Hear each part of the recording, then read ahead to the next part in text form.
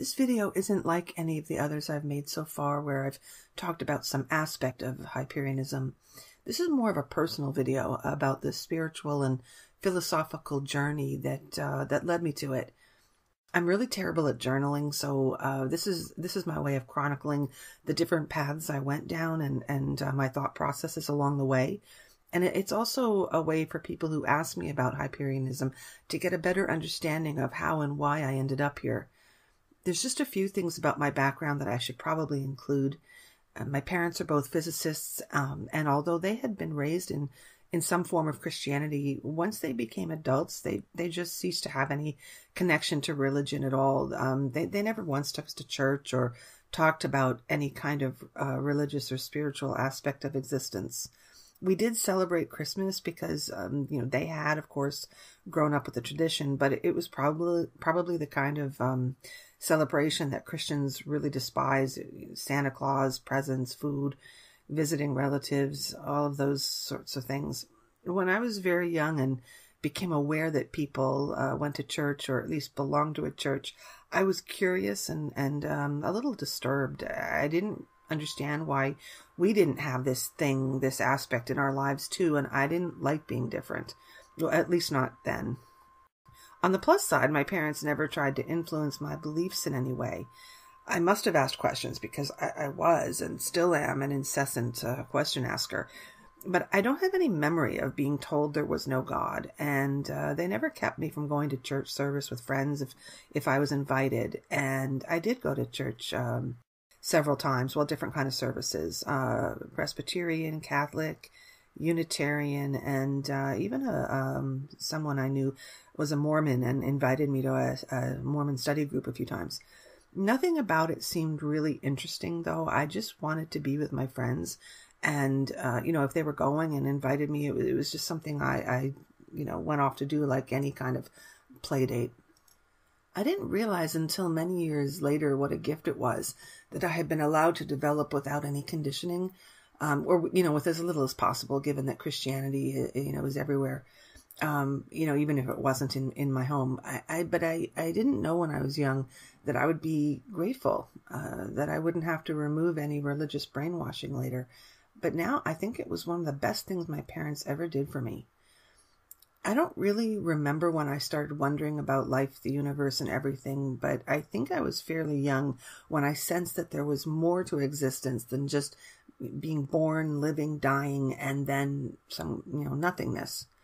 I wasn't being told that there that that's all there was, uh, but I, I might have figured it was because I wasn't being given any definite answers, you know, to the contrary either. And I really, really like definite answers. So I sensed that there was something. I just didn't know what it was.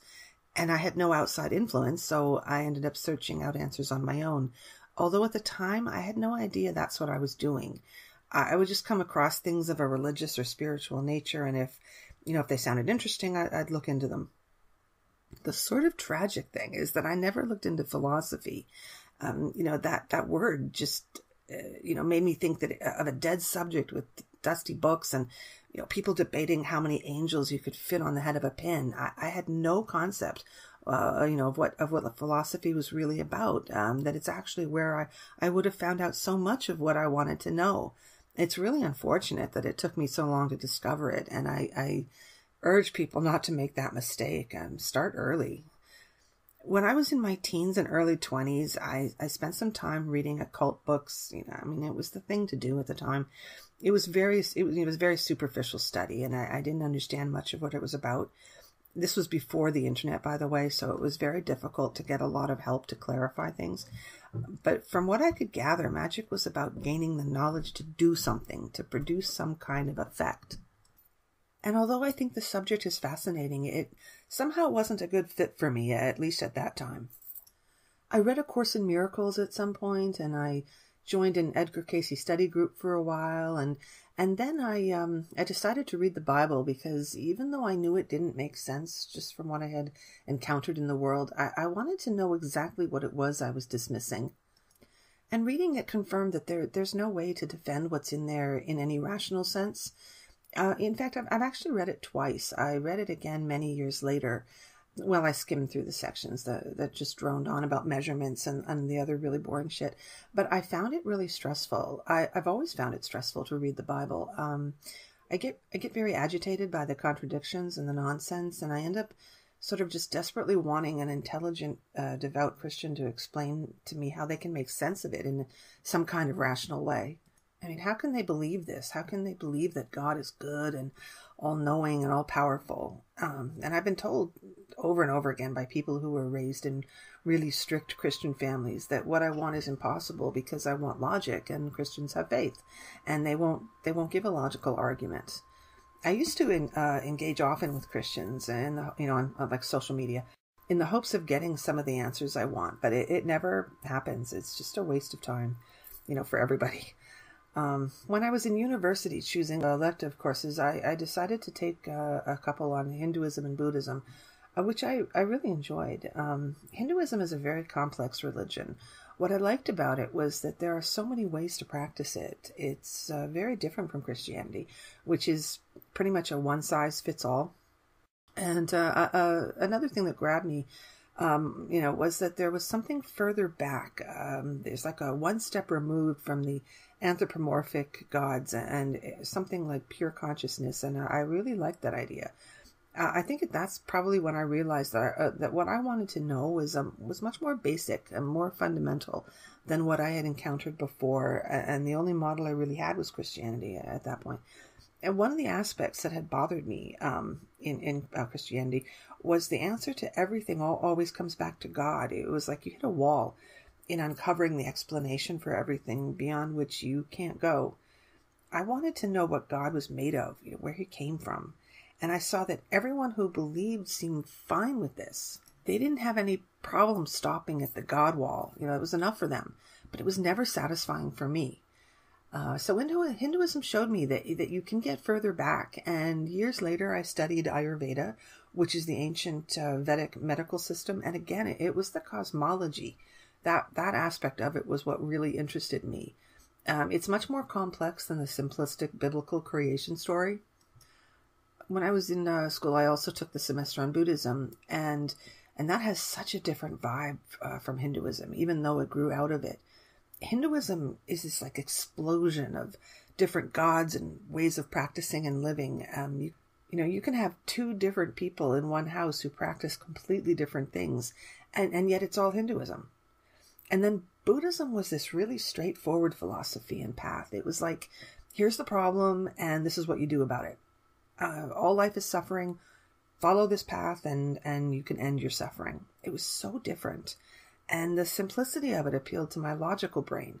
But I didn't sense that it was the, the whole picture. Uh, it didn't have the explanation I was looking for. I didn't know that it was right. And I liked uh, I liked the more peaceful attitude it had. Um, I liked the tolerance. Uh, for a long time, I lived with what I called just my set of spiritual beliefs. Nothing I had encountered made me want to commit to it.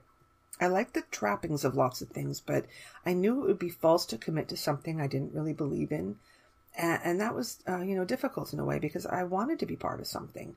I felt like I was wandering around looking for this big, you know, it in capital letters. I wasn't unhappy, uh, though, and, and by this time I was way past being disturbed that I wasn't following the majority of what people were doing um, or sharing whatever non belief my parents and sister had. So I carried on with that coexist and many paths to the top of the mountain philosophy.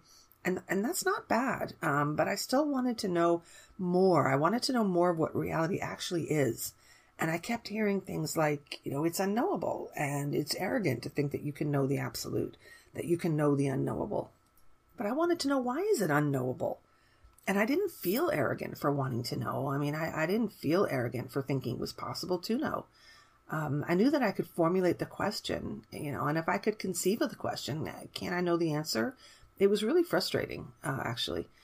And the coexist philosophy, while it's really, um, you know, has this very nice feel to it, it does have a downside, uh, which kicks in when you, you finally realize that only some people are willing to share the playground with you and at the same time, there's a whole lot of others who are really trying to just boot you out of the whole park. And then I stumbled onto ontological mathematics, and it was like nothing I had ever seen before. uh, actually, it was at this time that I had been uh, following Morg on Facebook, and I realized that he was talking about the same material. And it was actually through Morg that I realized what philosophy is really about. And that opened up an enormous area of interest and study. I don't understand why people don't want to discuss philosophy all the time, honestly. I just, I don't get it. Uh, anyway, so ontological mathematics was this holy shit moment. Um, it removed that wall that you hit with every other system out there. This is something, you know, that, that addressed the fundamental nature of reality itself. And that was mathematical. Uh, it's so cool. I, I remember how, how everyone always said that the universal language is love. And I was always thinking to myself, no, the universal language is math. It's so obvious. This material was like finding the most incredible treasure. I mean, it was the it with, you know, in capital letters that I had been looking for. I realized I had never adopted a belief system um, prior to that because I, I didn't want to believe. I wanted to know. And this was something huge, life changing, world changing. Understanding this truth will lead people to changing the world.